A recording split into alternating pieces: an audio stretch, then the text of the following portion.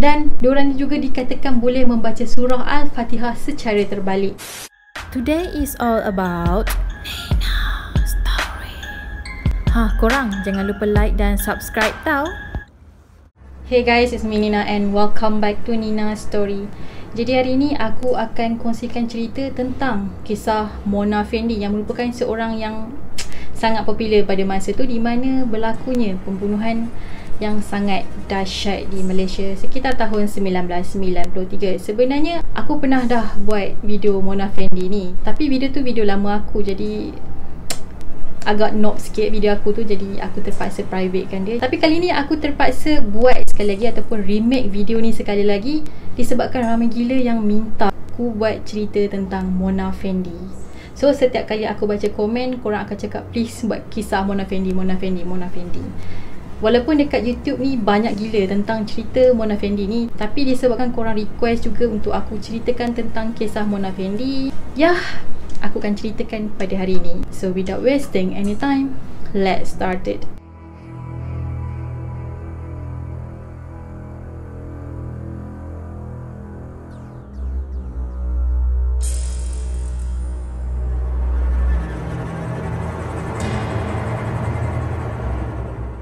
Kes Mona Fendi ni yang merupakan dukun yang terkenal di Malaysia pada masa dahulu pernah terlibat dengan satu kes pembunuhan yang sangat kejam iaitu di mana Mona Fendi ni telah membunuh seorang bekas adu negeri dengan cara yang sangat dahsyat Nama sebenar Mona ialah Mazna binti Ismail dan Mona ni telah dilahirkan di Kangar Perlis pada 1 Januari pada tahun 1956. Mona telah dituduh membunuh adun negeri Batu Talam Pahang iaitu Datuk Mazlan sekitar tahun 1993. Sebelum Mona ni menjadi dukun ataupun menjadi bomoh tradisional ni, dia sebenarnya seorang penyanyi. Dan Mona ni pernah mengeluarkan album dia yang pertama iaitu Diana Satu dan juga Ku Nyanyikan Lagu Untukmu. Dan album-album dia ni telah diterbitkan sekitar tahun 1987. Dan disebabkan masa tu dia pun dah jadi artis, normal lah artis-artis ni akan gunakan nama glamour dia supaya dikenali oleh peminat-peminat minat dia. Jadi Mona ni telah menggunakan nama Mona Fendi iaitu hasil gabungan nama dia dan juga nama suami dia iaitu Afandi. So bila digabungkan jadilah Mona Fendi. Disebabkan bidang nyanyian yang Mona ceburi ni taklah mendapat sambutan sangat jadi dia pun berubah arah untuk terjun ke dalam bidang perubatan tradisional. Suami Mona pula ialah Fendi ataupun nama sebenar dia ialah Muhammad Afandi.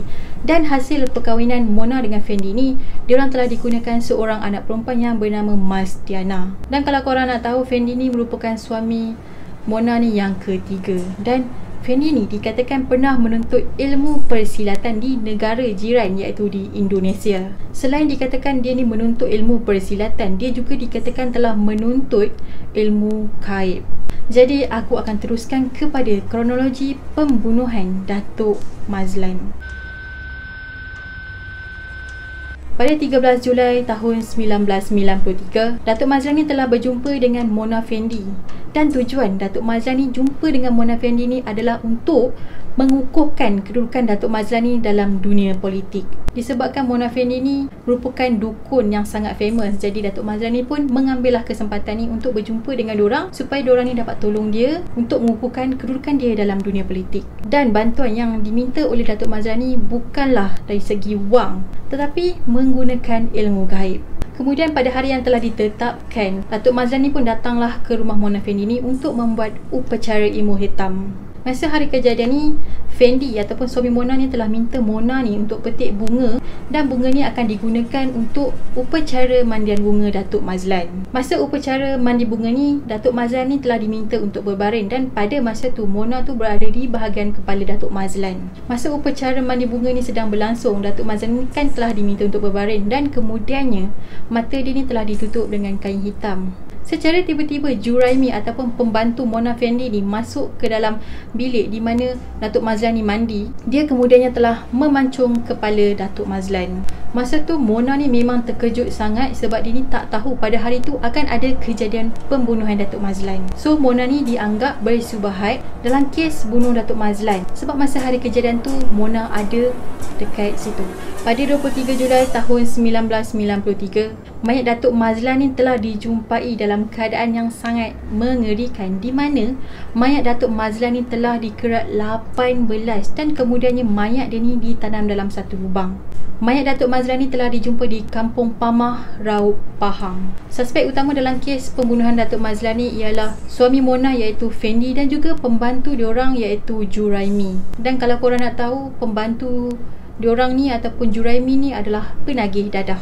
So masa Juraimi ni kena tangkap dengan pihak polis, Juraimi ni lah yang membongkarkan kat mana mayat Datuk Mazlan ni ditanam. Mayat Datuk Mazlan ni telah ditemui ditanam sedalam 1.8 meter dan permukaan lubang tu telah disimen oleh diorang. Kemudian Mona Fendi ni telah ditangkap oleh pihak polis di Wangsa Maju, Kuala Lumpur. Pada 24 Oktober tahun 1997, hakim telah menjatuhkan hukuman gantung ke atas Mona, Fendi dan juga pembantu diorang iaitu Juraimi. Mona sebenarnya bukanlah suspek utama dalam kes pembunuhan Datuk Mazlan. Mona ni hanyalah orang tuduhan yang ketiga.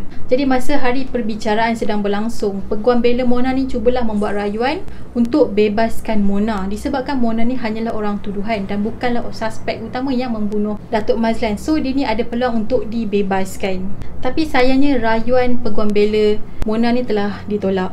Mona ni pernah berkata kalau dia dibebaskan dia nak suami dia pun dibebaskan dan kalau suami dia digantung dia juga nak digantung so dia pun minta lah sabitan ke atasnya diteruskan disebabkan dia ni terlalu cintakan suami dia sampaikan Mona ni sanggup menerima hukuman atas kesalahan yang dia tak lakukan. Jadi pada 2 November tahun 2001 pada pukul 5.59 pagi diorang bertiga ni telah digantung secara serentak. Mayat Mona dan Fendi ni telah disemadikan di kampung Sungai Kantan, Kajang manakala Jurami pula telah dikuburkan di Pong Teluk Gong, Kelang. Masa Mona Fendi ni kat dalam penjara banyaklah cerita-cerita mitos ataupun spekulasi-spekulasi tentang Mona Fendi. Disebabkan Mona Fendi ni pernah menuntut ilmu hitam dekat Indonesia. Jadi diorang katalah yang Mona Fendi ni sebenarnya sangat kebal dan takluk kalau mati. Salah satu cerita yang sangat famous di mana cerita ni sangatlah dipercayai masyarakat kita iaitu di mana Mona Fendi ni dikatakan telah digantung sebanyak tiga kali. Tetapi tak berjaya dan pada gantungan tali yang terakhir barulah diorang ni mati. Ada juga yang mengatakan yang Mona Fendi ni boleh lari diri dari penjara kemudian dia boleh balik pula ke penjara tu tanpa seorang pun sedar. Mona Fendi juga dipercayai boleh menerapungkan diri diorang dalam penjara dan diorang juga dikatakan boleh membaca surah Al-Fatihah secara terbalik. Dan ada juga yang mengatakan bahawa masa hari terakhir Mona Fendi nak digantung, dia ni minta kemenyan. Tapi sebenarnya cerita ni hanyalah rekaan semata-mata. Sama ada betul atau tak, jom kita rungkaikan satu persatu. Cerita ni telah dikongsikan oleh Sarjan Azizah dan Sarjan Azizah ni merupakan seorang pegawai penjara yang menjaga Mona. Masa dalam penjara, iaitu sel akhir, Mona ni telah ditempatkan di bawah jagaan Sarjan Azizah ni. Dan sel yang diduduki oleh Mona ni merupakan sel yang paling depan ataupun sel yang pertama. Jadi masa first day Saja Azizah tu ditugaskan untuk jaga Mona. Mona ni telah menegur Sarjan Azizah ni dengan memberi salam. Tapi Sarjan Azizah ni dia tak layan Dan Mona ni teruslah bagi salam pada hari kedua, hari ketiga Dan pada hari keempat ni barulah Sarjan Azizah ni jawab salam Mona. Dan sejak hari itulah Sarjan Azizah dengan Mona ni menjadi kawan baik. Menurut cerita Sarjan Azizah ni Mona ni merupakan seorang yang sangat sopan.